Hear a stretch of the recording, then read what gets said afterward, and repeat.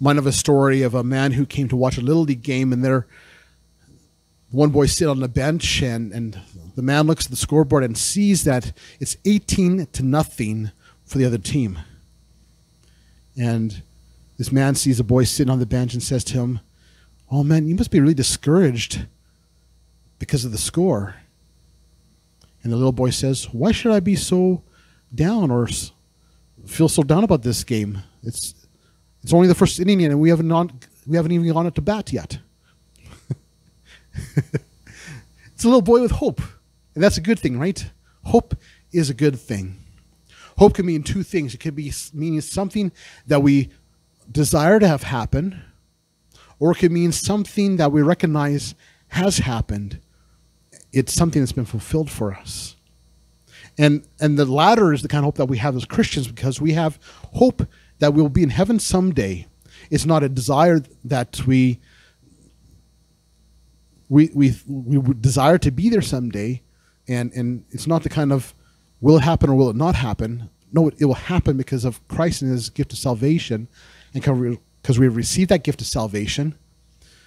But the former hope is the desire of, of is this going to happen or not? And, and but we want it to happen. So Bella has these certain ideas of gifts she would like to have happen. She'd like to get, hopefully. Uh, Ted mentioned he, his hope of wanting to see his COVID virus gone. Stella sharing about her hope to be able to visit with family during Christmas. These are all things that we desire to happen, and, and they may or may not happen, but we hope that they happen, right? Because these are good things hope is an important thing.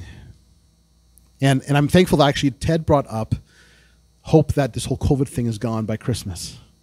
Um, because it's one of those things that sometimes we ask, when we see big things in the world that happens, we're like, where's the hope? And what hope can we have? So, what hope can we have this morning as we look at God's word? We will see that this morning. Like this little boy who had hope that they could still win even though they're down 18 nothing. Um, we can still have hope of something wonderful to take place still in these times. In our passage, two passages this morning, these are the only two places we find this name of God. Miqweh Israel. The Lord is hope. Or sorry, the hope of Israel. God is the hope of Israel. He is the hope all of us. And it's important for us to understand this name of God so then again we see his character. So we can know him better. So we can love him better. So we can serve him better. First point I want to share with you on this this morning is this that hope, the hope of Israel is our Savior.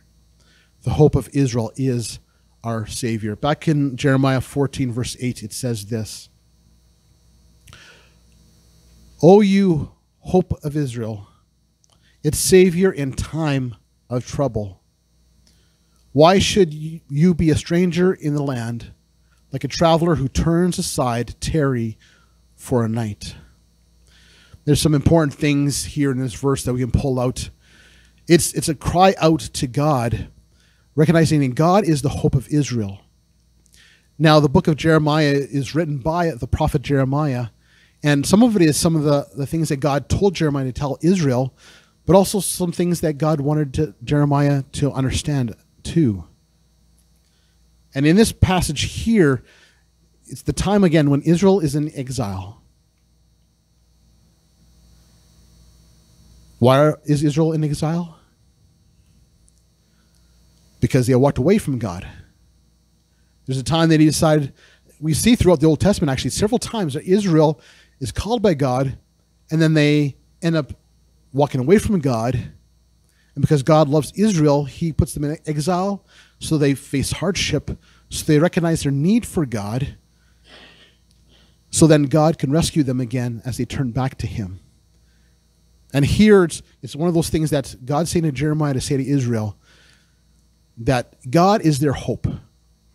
And again, it's Savior in a time of tribal of trouble.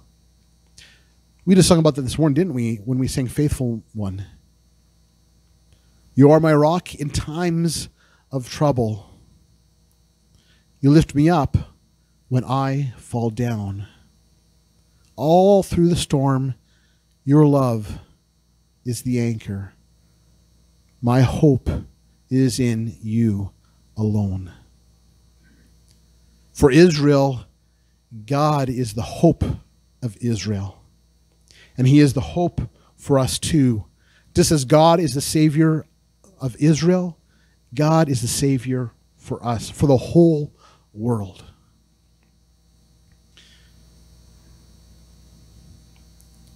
It's interesting these words, though, too. I want to point out. The question is asked why should you be like a stranger in the land, like a traveler who turns aside to tarry for a night? That is a significant question. And there's actually debate about that question. Is this question a question of, of Israel to God? Or is this actually a question of, of God to Israel? A couple sources I looked at had mentioned that they say that is actually the people crying out to God, not to be a stranger to them, because when they're, they're in exile, this troublesome time. So it seems like God feels far away from them. That could be one possibility. And, and kind of speaks to us today, too, doesn't it? That sometimes when we face trials and tribulations, sometimes we feel like, Lord, where are you? You feel quiet. You feel distant to me right now. But the truth is, God isn't distant. You may feel that way, but He's right there with us still. I, I actually believe that this is actually a cry out of God to Israel instead. Because again, why should you be like a stranger in the land, like a traveler who turns aside to tarry for a night? I think it's the God's cry out to Israel because Israel was the nation that turned away from God. That's why they're in, in exile in the first place. So God was like a stranger to Israel because they walked away from him. That kind of speaks to us in a way too, doesn't it? There's sometimes some people have what's called the dark night of the soul, where sometimes they question the relationship with God. Are they even saved, or or does God even exist?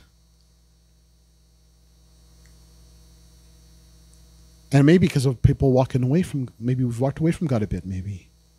There's stories of people who were Christians who walked away from the faith. Um, some of you have heard the story um, at one prayer meeting not long ago. Sure, now we're on a drive back home from getting groceries, and we're listening to one to Christian radio station, and this one band came up, and we're listening to them, and I said to Sherry that I had just heard the news a couple weeks ago that the lead singer of this band had become an atheist. He walked away from the faith. And I said to Sherry, I said, I wonder, I wonder what happened with his time with God. I wonder if he stopped reading his Bible and stopped praying. Because it's, it's like a song from um, Casting Crowns called Slow Fade.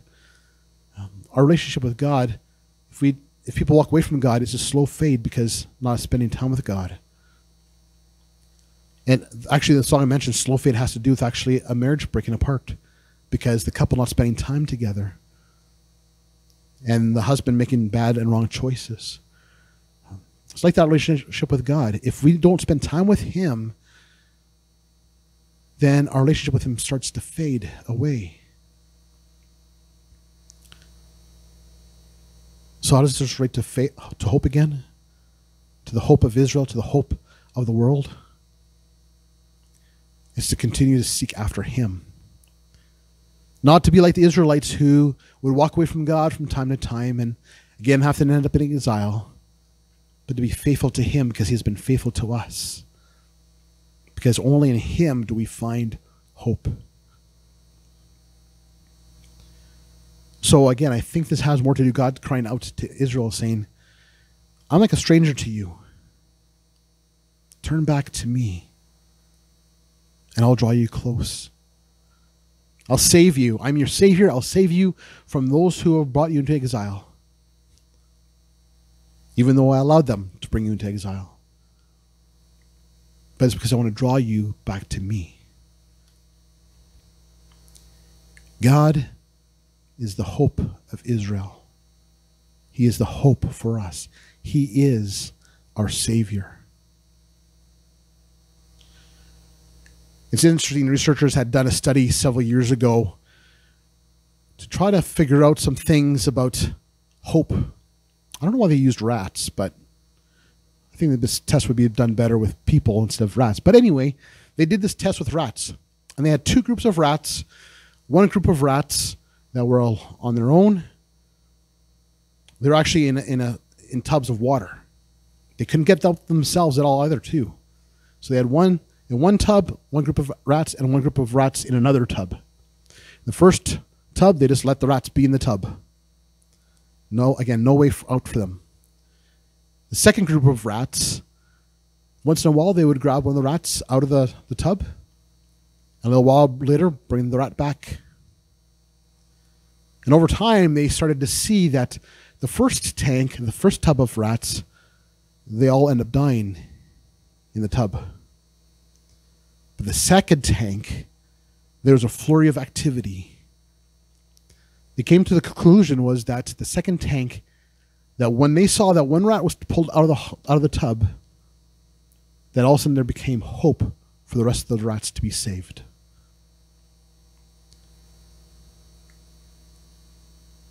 It's like that with us in a way. But we have actual hope because God is our Savior. This isn't hope deferred. This isn't that kind of hope that is going to be fulfilled and so our heart's going um, to be faint. It's hope that's realized for us. Jesus is our Savior. Here's what the hope of Israel saves us from. He saves us, first of all, from our sin. I know we know this well, but it's a remi- good reminder for us, though, still that we have hope, hope that is realized because Jesus is our Savior who has saved us from our sin. Romans 6, verse 7 to 11 says this For one who has died has been set free from sin. Now you have died with Christ. We believe that we will also live with him. Sounds like hope, doesn't it? We know that Christ, being raised from the dead, will never die again death no longer has dominion over him. For the death he died, he died to sin. Once for all. Not for some, for all. But the life he lives, he lives to God. So you also must consider yourselves dead to sin and alive to God in Christ Jesus. We are saved from our sins we have the hope to be saved from our sins. And not just hope that we desire that maybe someday it will happen, but that it has happened. Jesus saves us from our sin, did that at the cross for us. The thing that we do every Sunday, the communion table, we celebrate together, reminder what Christ has done, reminds us of the hope that we have that Jesus has saved us from our sins. Also, the hope of Israel saves us from death. It's not just from our sins, but the consequence of our sins, and that is being death. 1 Corinthians 15, verse 56 to 57. The sting of death is sin, and the power of sin is the law. But thanks be to God who gave us the victory through our Lord Jesus Christ. This death in this passage isn't speaking of death as in being buried into the grave because our life has ended it's talking about death as in an eternity in hell. That term death, it's important to understand what it means because it can mean those two things. It can mean being bare, life is ended, but also can mean an eternity in hell. And that's what Paul means here when he writes these words in 1 Corinthians 15. The sting of death is sin, and the power of sin is the law. But praise be to God that he has saved us from sin and its consequences of death and eternity in hell. So the hope of Israel is our Savior. Second thing we learn, which is in our next passage this morning, is the hope of Israel is our fountain of living water. Turn me now. Turn with me now to Jeremiah 17, verse 13. 17, verse 13. And again, here's what this verse says O Lord, the hope of Israel, all who forsake you shall be put to shame. Those who run away from you shall be written in the earth, for they have forsaken the Lord, the fountain of living water. In Jeremiah 17, Jeremiah is writing to Israel what God had given him to tell to Israel. And it's because Israel was f- focusing on material things and running after those things instead of trusting in God. Hmm. Things haven't changed much, has it? we we live in a day and age where majority of our world chases after material things still and doesn't chase the things of God instead. Now we're not saying it's bad to have material things. No, we need material. Some material things like we need clothes, obviously, right? We need home. We need we need food, um, and it's okay to have things that entertain us. But it's the pursuit of those things above God that isn't good. Because those things don't bring life, do they?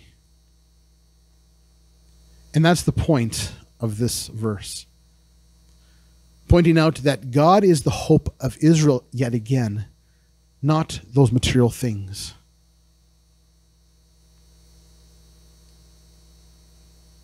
It also mentions about they, be, they would be put to shame, that they would be written in the earth. Who? What does that mean? Well, it relates to what we just talked about a moment ago, too. Written in the earth, death. But that death having to do with an eternity in hell. Because material material things don't lead us to God. They actually lead us away from God most of the time, don't they? Now, again, we're not saying that material things are evil. Um, there's a lot of material things that are good, but is our focus on those things or are they on God? I admit at times in my own life, there's been times been more concerned about material things than the things of God. Particularly when sometimes when I look at the bank account and I kind of wonder, oh, Lord, um, things are a little tight, but yet my hope isn't in those material things. My hope is in the Lord. And when the focus is on the Lord, those things seem to be not as important. What's the, that hymn? Turn your eyes upon Jesus. How does that go? Turn your eyes upon Jesus. Look full in his wonderful face, and the things of earth will grow strangely dim in the light of his glory and grace. What's that line again? And the things of earth will grow strangely dim. It speaks of hope again, doesn't it? The hope that is in God, not in material things. Even as we think of this whole virus thing going on, our hope really isn't in the medical field, although we're thankful for our doctors and nurses. But our hope is in God and the things of earth will strangely dim. Now, as I say, that doesn't mean that we would be reckless about things. But we don't need to worry about these things, these troubles of our world, um, troubles we see in politics, politi- the troubles we see around the world with wars and rumors of wars. Things of earth will go strangely dim. Our eyes must be focused on God because He is our hope. It's kind of like a man who's walking in the desert, who's been walking for hours and hours and hours, and then all of a sudden sees an oasis in the distance. What happens to that man? he has hope all of a sudden, doesn't he? Because he knows that that oasis, seeing those palm trees, that there's got to be water there. So there's relief in sight. Brothers and sisters in Christ, there's relief in sight. Because Jesus is that living fountain for us. The hope of Israel, your living fountain, your living fountain of water, offers you two things. He offers us, first of all, exactly that living water. John 4, verse 10 says, Jesus answered her, If you knew the gift of God and who it is that is saying to you, Give me a drink, you would have asked him, and he would have given you living water. This verse comes into the story of the Samaritan woman. Remember that story? Jesus is just sitting outside of Samaria and sends his disciples into town to get some, some supplies. And as he's sitting by this well, this woman comes on her own to fill her water jugs up because see she was a woman who was thought by her society of someone of little repute she was a woman who actually had had had several husbands and even the one as we know from the story that she was living with then was not her husband and jesus had mentioned that to her but jesus mentioned in this conversation too that he first of all asked her for water and she says well how could you have a drink of water? Like the well's deep. And he tells her, but if you would have if you would have known that with I asking you for living water, if you know who I was or who I am, you would have asked me for living water. Now, what is this living water? It's hope, but it's it's the hope of eternal life.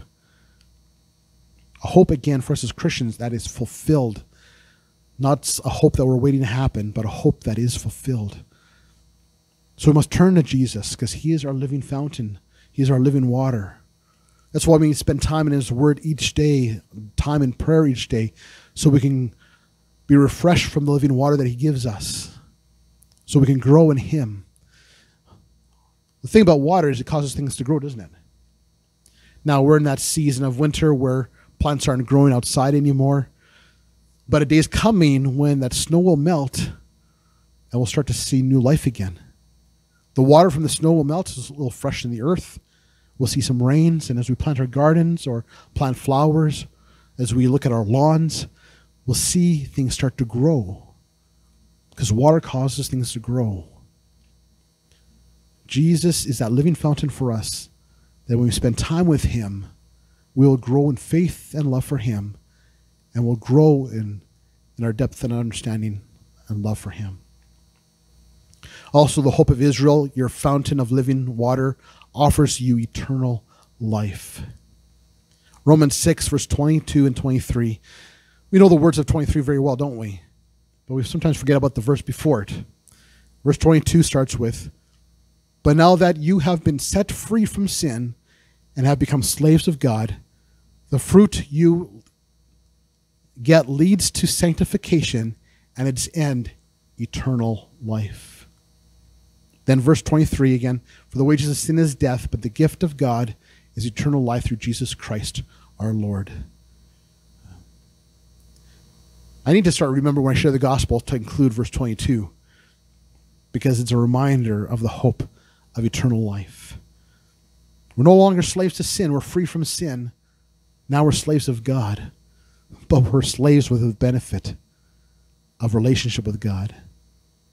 In fact, we're more than slaves. Paul says elsewhere that we're children of God, heirs of his kingdom because of his gift of eternal life. We see that the hope of Israel is more than just the hope of Israel. He is the hope of the whole world because he is living water for us so we can grow spiritually, but also because He offers eternal life.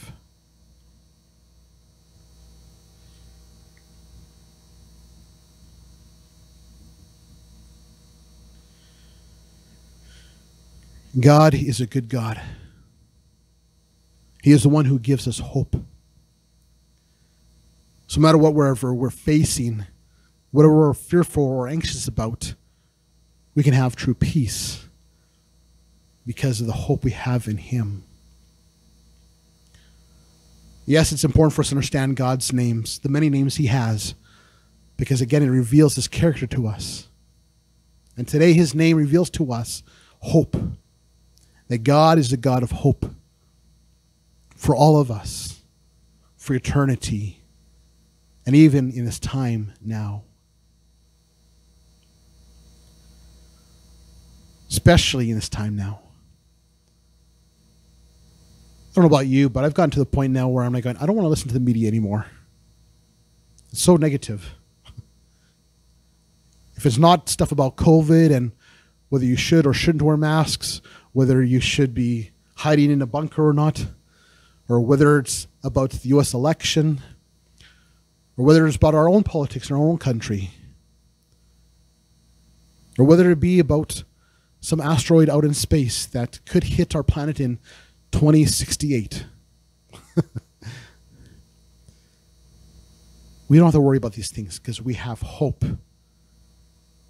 Hope in the hope of Israel. The hope not just for Israel, but the hope for the whole world. God, the Father, the Son, and the Holy Spirit is our hope. I want to call us to two points of action this morning. The first is this know that hope is fulfilled in Jesus. That's where your true hope is as I have thought about the politics in our country in the last six months to a year, actually even through the last two elections, seeing about our political landscape, I started to lose a little bit of hope for our country. But then God spoke to me and reminded me, don't put your hope in the politicians. I am your hope. So know that hope is fulfilled in Jesus. Your hope isn't fulfilled in our politicians. Your hope isn't filled in from me. your hope isn't found in your spouse or your children or your parents or your friends. As important as those relationships are, but your hope is in Jesus. So know that your hope is in Jesus. Second point of action is this turn to Jesus who can give you hope. So when you're in those anxious times and worrisome times, turn to Him and trust Him. Turn to Him and say, Lord God, I give my anxieties to you.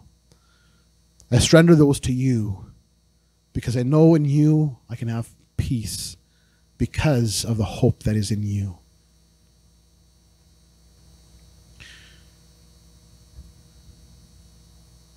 Here's a challenge for you.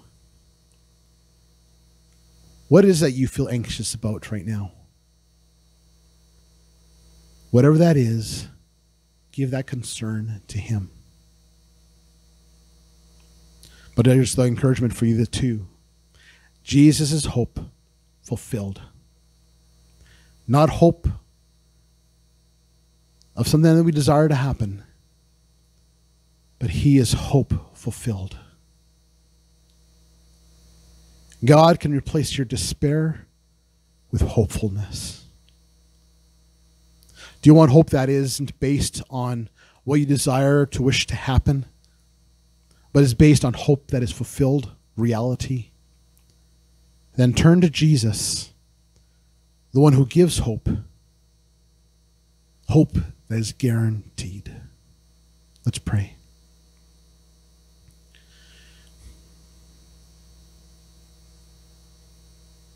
Lord God, we thank you that you are Miqweh Israel, the hope of Israel.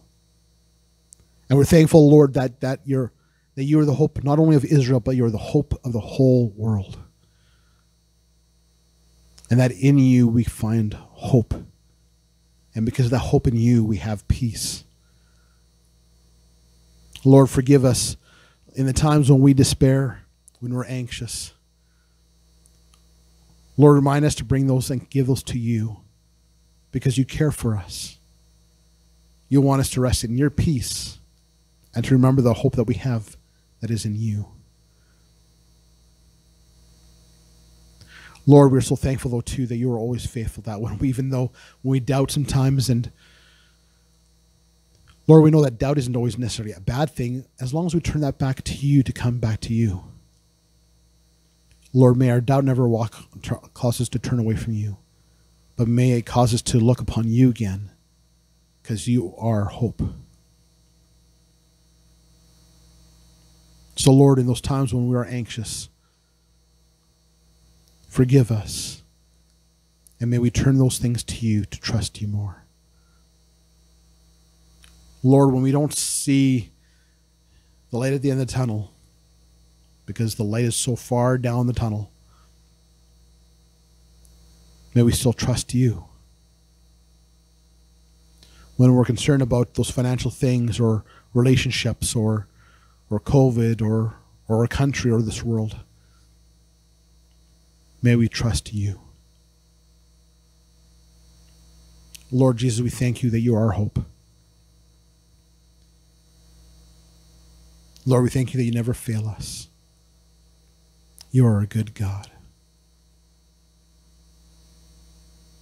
For these things we pray in your name, Lord Jesus. And by the whole power of the Holy Spirit, by the will of the Father. Amen.